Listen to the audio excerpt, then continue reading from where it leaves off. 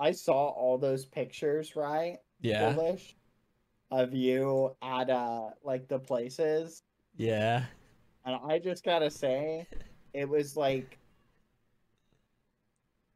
it was the equivalent of like three Davids hanging out with Goliath. You know, it was interesting. Wait, what?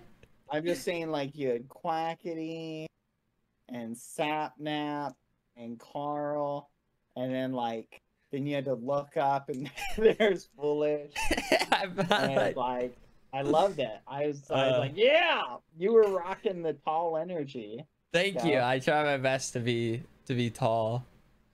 No, it, it worked can. out. It worked out.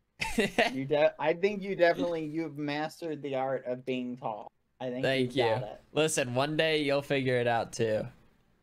I I hope I hope one day I will, but you know, it is what it is.